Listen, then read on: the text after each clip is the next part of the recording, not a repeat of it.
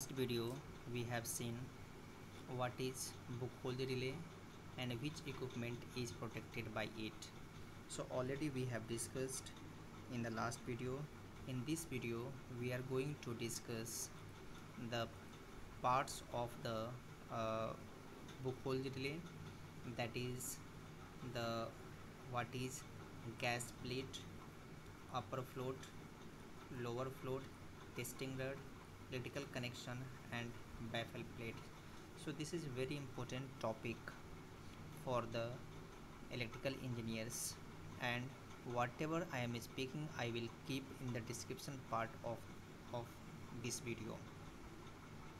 So in the Buchholz relay the term that I have mentioned uh, that is referred to the specific component and the features of the relay that play important roles in the operation. Let us break these each of these terms. First one is the gas bleed.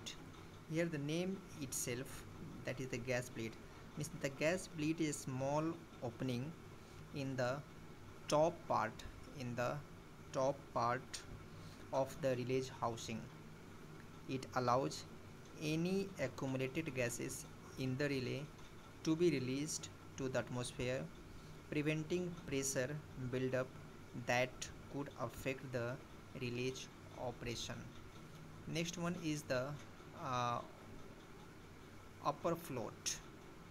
Next one is the upper float. The upper float is a mechanical float located in the upper chamber of the Buchholz relay. It is designed to detect the presence of gases that are generated within the oil filled equipment due to the fault or abnormalities. As the gas accumulates in the upper chamber, the float rises indicating a potential fault or issues. Next one is the lower fall lower float. The lower float is also a mechanical float positioned in the lower chamber of the Buchholz relay. It functions as a break, breaker float and adds an extra layer of the protection. If a fault progresses to a more serious level, the gas generation rate can increase significantly. In such cases, the lower float can rise due to the gas accumulation, triggering a more urgent alarm or the trip response.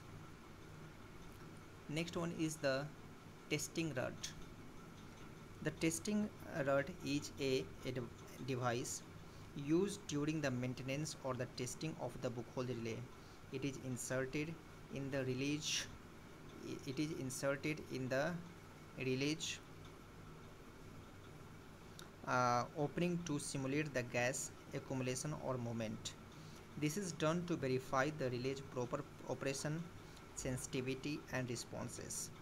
Testing rods are used to ensure the relay is functioning correctly and can detect gas accumulation. Next one is the electrical connection.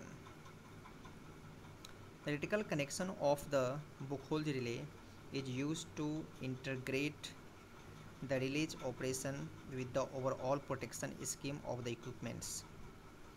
The release alarm and trips trip signals can be connected to control the panels or monitoring uh, systems allowing operators to receive alarms or initiate actions in the uh, in response to detected fault the last one is the baffle plate the baffle plate is a separating component within the relay housing that separates the upper and the lower chambers it ensures that gas accumulation in the upper chamber does not interfere with the lower chamber's operation. The baffle plate also helps guide the gas from the upper chamber toward the, toward the gas bleed for the safe release. In summary, these components and the features in the Buchholz relay work together to detect the presence of the gases generated by the fault or abnormalities within the oil filled equipments. The relay's design allows it to provide both early warning, uh, warning for the minor faults and more urgent responses for the major faults, helping to prevent the damage and ensure the safe operation of the equipments.